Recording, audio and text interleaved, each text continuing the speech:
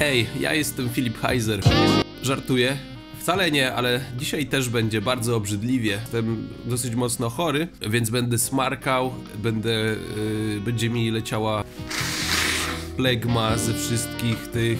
Miałem poważne plany co do przyszłych filmów, miałem robić y, naprawdę ambitne rzeczy, ale coś strasznie długo się nie mogłem zebrać, tak przez jakieś dwa miesiące, więc stwierdziłem, y, jakby ch- choroba, grypa, czy nie wiem co to jest, okazała się darem niebios i wielką inspiracją. Jako, że po jednym z odcinków pięciu odkryć, e, który był właśnie nagrywany pod wpływem gorączki, mam, ba- bardzo dobre wspomnienia. Co minutę nagrania musiałem się zastanawiać, gdzie jestem. Z czym kojarzy wam się choroba? Mi na przykład z, z totalną labą, mini wakacjami, z graniem na kompie, z niemusieniem odrabiania lekcji. O, pamiętam, że jakoś w gimnazjum, jak, jak byłem chory, y, nie wiem, tak srogo, to, to całe dnie grałem w Minecrafta i jednego dnia grałem już tak, nie wiem, myślę, że mogło być z 18 godzin i jak poszedłem spać, to dalej śnił mi się Minecraft.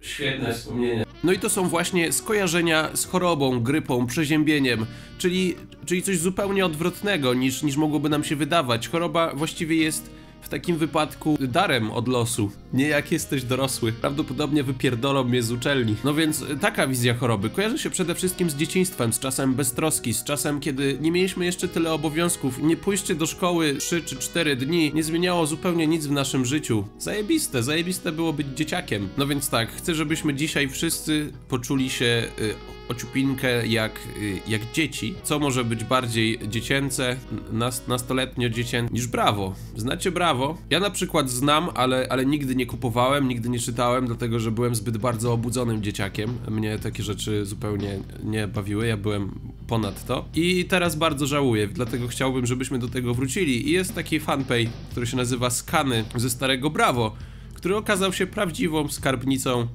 yy, pocieszności. Akurat na, yy, prawda, chorobę. Ta forma odcinka będzie ukłonem yy, dla moich recenzji fanpage'ów, chociaż tutaj jakby z miejsca ta strona otrzymuje 5 porządnych gwiazdek. Świetna sprawa. I skupmy się po prostu na tym, co w środku, bo dla tych, którzy nie kojarzą, Brawo, to była właśnie, to był taki magazyn dla, dla dzieciaków czy nastolatków, uczył ich, prawda, życia. A także informował o skandalach związanych z ultrapopularnymi gwiazdami, których, yy, którym ludzie najchętniej zajrzeliby do dupy. Jeśli w którymś momencie bym bredził Jedna rzecz, którą musicie wiedzieć, że ludzie, którzy pisali w Brawo, mieli mnóstwo poczucia humoru i chęci zabawy z słowem. Gołe brzuchy, ultra krótko i bardzo sexy. Tak pokrótce można opisać najnowszą modę, czyli falę na mikro, zwaną inaczej mikrofalą. Spierda. A.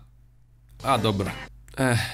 Już nigdy, już nigdy nie będziesz w boys bandzie. Ech. Czy braliście już kiedyś narkotyki? Oczywiście. Panie redaktorze, na dzień dzisiejszy yy, tak, akurat tak się złożyło. I to każdy z nas. To w naszym zawodzie normalne. Czy jesteś muzykiem, czy aktorem, czy jakkolwiek inaczej tkwisz w showbiznesie, stale masz możliwość zażywać narkotyków. To kwestia stylu bycia, ale ja już z tym definitywnie skończyłem.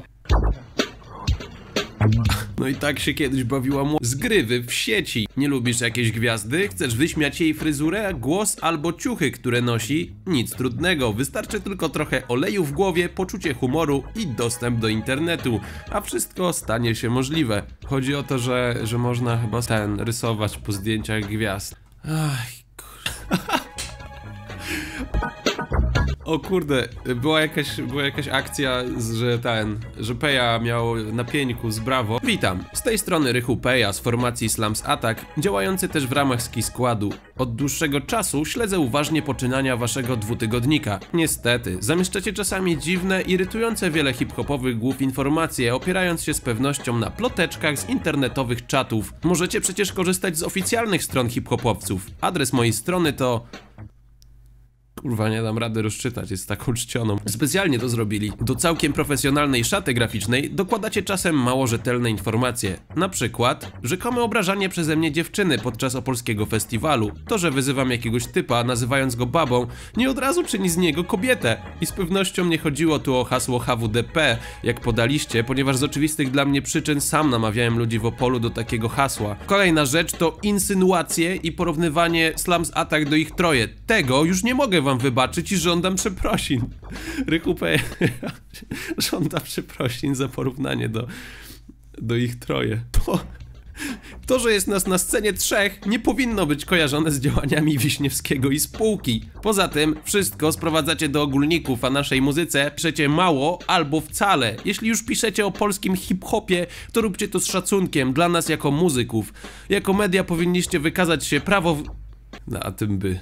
na tym by pograł. Odtwarzacz. Redakcja Brawo to, to były absolutnie największe luzaki, jakie kiedykolwiek widział świat. SMS-y to banał, czy już nikt nie pamięta o tym, że telefon służy przede wszystkim do gadania? Nie wiesz jak przyłożyć do ucha ten sprzęt? Ta, telefon na poziomie, luz, tak naprawdę wszystko w normie. Poza tym możesz rozmawiać używając słuchawek z mikrofonem. Nokia 3300 daje też możliwość wysyłania MMS-ów, czyli wiadomości multimedialnych, fotki itd. A pamiętam jeszcze tą Nokię, w sensie nie pamiętam czy ona była taka kompletnie nowa jak byłem mały, ale, ale chyba, chyba pamiętam jak wychodziła. Wiem, że jest coś cool w tym telefonie.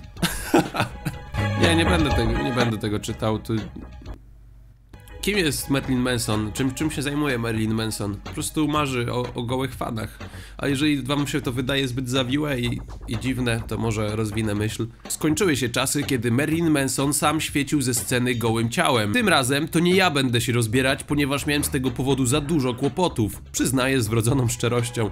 Teraz to publiczność ma pod jego kierownictwem pozbyć się ciuchów. Goli fani? To jeszcze naprawdę nic. Merlin marzy, żeby obok niego i jego kumpli występowały na koncertach bliźniaki syjamskie, kilkuletni zapaśnicy i inne dziwadła. Zajebiście, brawo.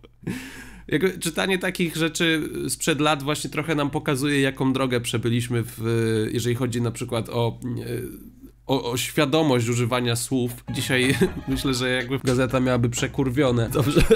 Dziewczyna była into trap shit dawno temu. O fakt, to jest mocne. Wyobraź sobie, że idziesz do studia tatuażu i w tajemnicy przed rodzicami tatuujesz sobie coś małego w widocznym miejscu. Tatuaż łatwo ukryć, więc przez dłuższy czas nikt z bliskich o nim nie wie. Jednak pewnego dnia przez przypadek zauważa go tata. Obawie przed konsekwencjami próbujesz ratować swoją skórę, mówiąc, że to tatuaż schenny.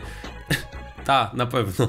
No ta. Który zniknie za kilka tygodni. Tym samym łagodzisz sytuację. 18-letnia Kim była w znacznie gorszej sytuacji. Aby ukryć swoją twarz, na której pojawiło się 56 gwiazdek, Kim musiałaby włożyć maskę. Kiedy jej ojciec zobaczył jak wygląda, wpadł w furię. Nowy look nie spodobał się też jej chłopakowi Brianowi. Zapowiedział, że ją rzuci. Wystraszona dziewczyna zaczęła kłamać, że chciała wytatuować sobie tylko trzy gwiazdki.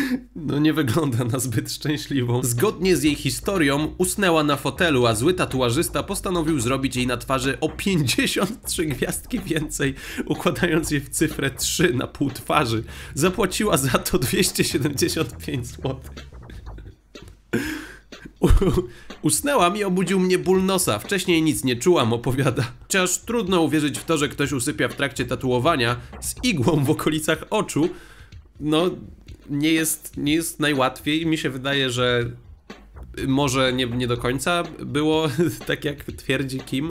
To jest apel. Nigdy nie tatuujcie sobie, w ogóle nic sobie nie tatuujcie, jak wypiliście więcej niż dwa piwa. Chociaż trudno uwierzyć w to, że ktoś usypia w trakcie tatuowania z igłą w okolicach oczu, rodzice Kim uznali, że mówi prawdę. O tym kłamstwie, które tylko miało załagodzić atmosferę w domu Belgijki, dowiedział się cały świat. To Kim przyjeżdżały telewizje. Dziennikarki współczuły biednej nastolatce, która została oszpecona do końca życia. No nie wiem, dzisiaj, dzisiaj jest popyt na takie ryjce wytatuowane, więc y, jeżeli o to chodzi, mm, to może nie, nie, nie było.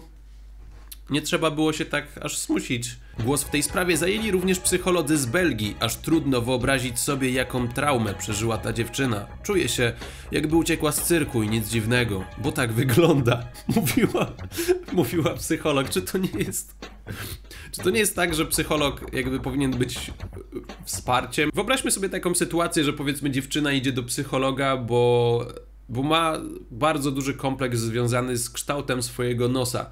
No czasami się tak zdarza i po prostu słusznie zamierza wybrać się do psychologa, żeby ten, ten problem po prostu przepracować.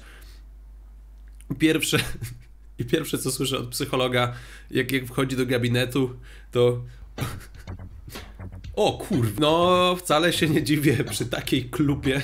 Tatuator, który wykonał tatuaże nie mógł uwierzyć w to, co op- opowiada jego klientka. Jestem pewien, że chciała 56 gwiazdek, wcale nie zasnęła, była cały czas przytomna i co chwilę przeglądała się w lustrze. Mam na to świadków, broni się tatuażysta. Kim była nieugięta, dalej trzymała się swojej wersji wydarzeń. Myślę, że mógł nie zrozumieć, co do niego mówiłam. Porozumiewał się łamanym angielskim i francuskim. Dowodziła. Tatuażysta pochodzi z Rumunii. Tatuażysta starał się załagodzić sytuację. Jestem w stanie zapłacić połowę ceny za laserowe usunięcie z twarzy kim tych gwiazdek. Nie chcę, by którykolwiek z moich byłych klientów był niezadowolony. Usuwanie tych gwiazdek może kosztować ponad 42 tysiące złotych, jednak nawet najbardziej zaawansowane lasery nie pozbawią kim tatuaży bez pozostawiania białych blizn na twarzy. Tymczasem ojciec Kim sobie obiecał, że zrobi wszystko, by wysłać tatuażystę do więzienia. Poszedł do jego studia i zaczął mu grozić. Planował pozwać go za oszpecenie córki i zmusić do zapłacenia odszkodowania około 50 tysięcy złotych. Dopiero wtedy nastolatka postanowiła wyznać całą prawdę. Historię wymyśliła na poczekaniu, kiedy zobaczyła reakcję swojego taty. Mam nadzieję, że wyciągniecie z tego wnioski. Ach, tęskniłem, tęskniłem za tym.